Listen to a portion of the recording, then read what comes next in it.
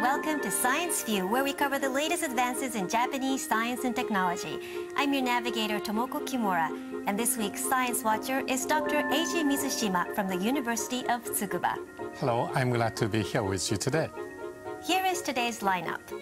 On today's Leading Edge, we'll look at BioCoke, an advanced biomass fuel. This new biomass fuel that has been created in Japan has a low impact on the environment and can be used in a variety of applications since it is durable and can burn for a long period of time compared to conventional fuel. BioCoke is already being used in test applications and is headed for commercial development. We'll examine this more in detail. And on J Innovators, Michelle? Our Takumi on today's episode developed a machine that can instantly separate various types of plastics that have been crushed for recycling. The Takumi developed a machine that can separate plastics with a mechanical eye. We'll look at the secret to how it doesn't even miss plastic pieces only 5 millimeters in size. But first, let's begin with today's Science News Watch, where we introduce one of the latest topics in the world of science and technology. Dr. Mizushima. A test plant has been constructed for the cultivation of algae, which is generating interest as a source of biofuel to make oil from carbon dioxide using photosynthesis. The plant has already started full-scale operations. This 80-meter outdoor pool cultivates algae, which produces oil from carbon dioxide through photosynthesis. This test plant was constructed by a major automobile parts manufacturer in Kumamoto Prefecture's Amakusa City on the grounds of a junior high school that has been closed.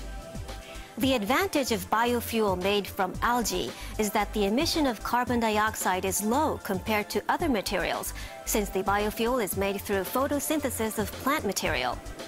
This is the current focus of interest in biofuel, and manufacturers are aiming to establish technology that will enable the large-scale culture of algae by fiscal year 2018, and proceeding with research into applications of biofuel made from algae. If this kind of sunlight continues, I expect we'll have a significant yield. I'm giving this my full effort so we can do business as soon as possible. Biofuels are expected to help reduce greenhouse gases, and there have been proposals to make them from a variety of raw materials. But making this practical is still a challenge from the perspective of mass production and cost. Nevertheless, Japan envisions having airplanes powered by biofuels ready for the 2020 Tokyo Olympic and Paralympic Games. And biofuels using this algae are attracting attention as a promising candidate for that goal. And now for the leading edge.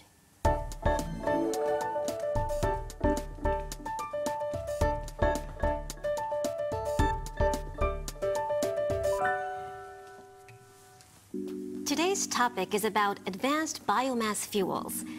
Dr. Mizushima, we just introduced how algae makes oil, and we also hear a lot about bioethanol and biogas. Research in this area really seems to be progressing. I certainly agree. There are great expectations for these materials as replacements for petroleum and natural gas. However, the real star of today's program is this. What is this? This is what we call biocoke, and it may become a substitute for coal. It really does look like coal with its black color, but I didn't think that coal was used as much in this modern age. Have a look at this. This pie chart illustrates the ratio of all of Japan's energy sources. According to this, 23% of the country's energy source is coal. If we think of that amount per person, that's an incredible one ton used per person each year. That's a large amount. So where is all that coal being used? Let's take a look.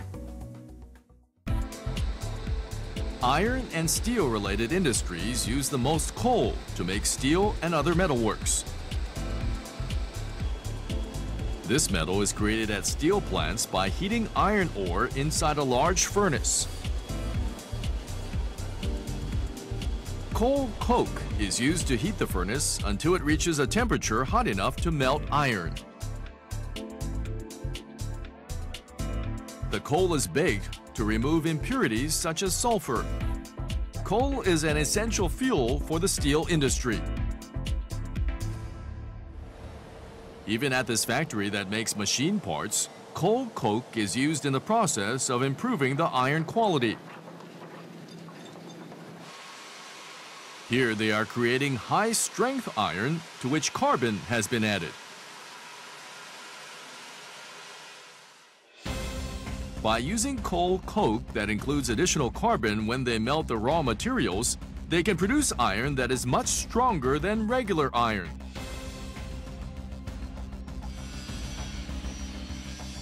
They have been conducting tests at this factory by switching 10% of the coal coke with bio coke. If they can use biocoke, they can lower the impact on the environment by decreasing the amount of fossil fuels used. However, they cannot permit a decrease in product quality. The temperature of the furnace is key here. That temperature is 1500 degrees Celsius. If they mix in biocoke, will the temperature in the test rise to that amount? They will also check to see whether there is any problem in the iron quality. When the temperature of the heated furnace is measured after biocoke has been mixed in, 1,574 degrees, they have cleared the goal. There is no effect on the quality, and they have created iron that can be used in their products. The iron created showed values in line with our composition goal, so I think the material is fine. We'll probably be able to substitute about 30% of the coal coke with bio coke, so we're very excited about this. So coal is used to make iron, and they've started to partially replace it with biocoke. Yes, iron ore, which is a raw material for iron, contains iron that has binded to oxygen. So to remove that oxygen, workers have to cause a reaction with carbon at a high temperature. Since 90% of coal coke is carbon, it puts out a tremendous amount of heat energy. That is why it can achieve a very high temperature, which enables use in the production of steel. I understand how important coal is, and I'm glad we can also use biocoke.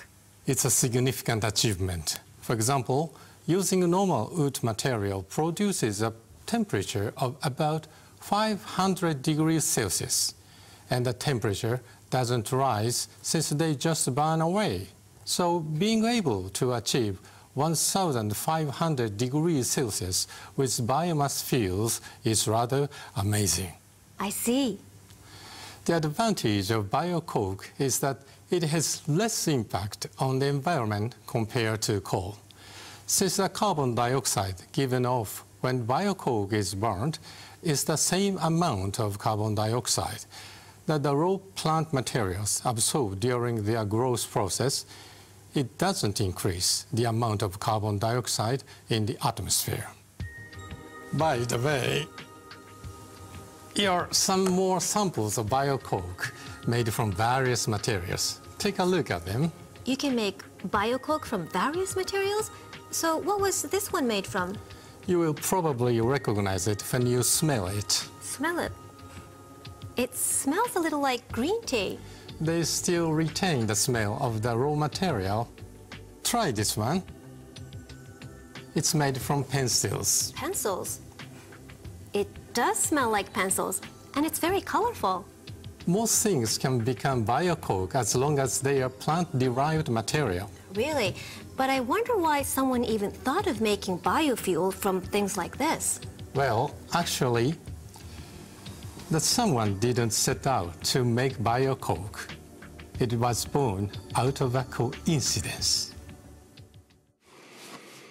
This is the developer of biocoke, Dr. Tamio Ida of Kindai University. Ida was engaged in research on biomass fuels in the year 2000. He was first interested in wood pellets that use plant material just as it was in a solid state. Wood pellets are made from tree thinnings and other such material that have been pressed and then compression molded. These are already being used as fuel in pellet stoves and boilers. Ida wondered if he might be able to change them into better performing wood pellets by adding heat instead of just pressure. So Ida conducted experiments in which he raised the temperature to over 300 degrees. Then one day, Unusual smoke started coming out of the reaction cylinder. I was interested in trying to find out how I could suppress the smoke. So I lowered the temperature. He repeated his experiments over and over and eventually lowered the temperature to 180 degrees. This led to the creation of a strange mass, and only the top half had changed to a blackish color. Furthermore, in that black portion, there was a subtle glossiness. It turned into a hard mass, giving off a blackish color that was different from before. And that was when I really felt there might be something valuable here. Just what exactly happened during this time? Plants are mainly composed of three types of polymers made from carbon, hydrogen, and oxygen. These are cellulose, which is very fibrous, lignin, which binds the cellulose, and hemicellulose, which functions as an adhesive to secure the cellulose and lignin. First, only the hemicellulose begins to melt as the temperature starts to rise. Then, adding pressure causes the lignin to react. Hydrogen atoms and oxygen atoms are emitted in the form of H2O, or water. After that, the mass is cooled, but pressure continues to be applied. Doing this changes the structure of the lignin itself. The carbon atoms that were not connected now form a strong connection. This is active lignin. It's now in a state of high energy density. By hardening the melted hemicellulose, the active lignin remains fixed in its compressed form. The upper half is the only part that has become black because the reaction slowly progressed from the top down. The sample was removed before the reaction could finish.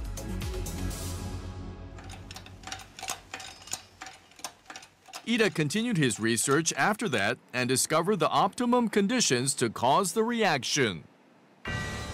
We had Ida try using actual tea leaves. First, the dried tea leaves are pulverized very finely in a mill and then put into the cylinder. This is now 180 degrees Celsius, and the initial moisture value is at about 10%. The added weight is 4 tons, and pressure is 20 megapascals. The sample is heated under these conditions for 15 minutes. After that, it is cooled down completely. Just from this process, the tea leaves were transformed into a material with a luster almost like plastic. This is biocoke. And in this way, a biomass fuel that can produce a high amount of energy has been born. It's incredible that he's able to create in just 15 minutes a fuel similar to coal, which takes millions of years to form naturally. Yes. And it's interesting that green tea can turn into biocoke, but wouldn't that be a waste? That was just an example. But there's actually a lot of tea leaves and other plant-derived materials that usually go to waste. I see. I was also wondering that if just making biocoke requires a large amount of energy, that might be rather meaningless. That's a very good point. But actually, that is not an issue. It can be made with less than 3% of the energy that biomass has. 3% seems like a good figure. So earlier we mentioned the iron and steel industry, but are there other places where coal is being used? This graph shows how much coal is used in which type of industry. So after iron and steel, power generation uses quite a lot of coal as well. That's right. In fact, coal is used in thermal power generation. If that's the case, biocoke could be used in thermal power generation, right?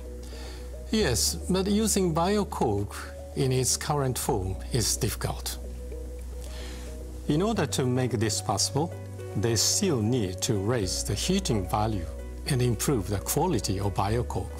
Let's see how it is done. Is there some sort of obstacle preventing biocoke from being used in thermal power generation? The combustion temperature of the coal used in thermal power generation is 1800 degrees Celsius at the most. Coal has to be changed into fine carbon powder that is easy to burn. Its composition includes 80% carbon. Looking at the ratio of elements included in the biocoke, carbon makes up approximately 50%. However, biocoke also includes 30% oxygen. First, Ida aimed to approach the composition of coal powder by removing oxygen from this point on.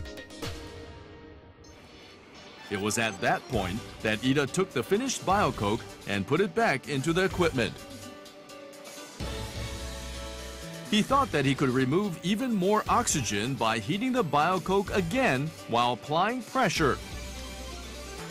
The temperature is 330 degrees. This is a much higher temperature than when first making biocoke. Little while after Ida began heating the sample, steam vapor has begun to emerge little by little from the reaction container. This is water that was formed chemically from the moisture remaining in the biocoke. This is the residual of oxygen atoms and carbon atoms. The sample is now finished after about one hour. It has approximately half of the volume compared to biocoke. The color is darker as well, and it has changed into a material that crumbles easily. The percentage of carbon has been raised to 77%. However, the oxygen has been reduced to less than half. The purity of the carbon has increased and this is now semi-carbonized biocoke. It is easy to make it into a powder like coal powder and it could even be used in thermal power generation.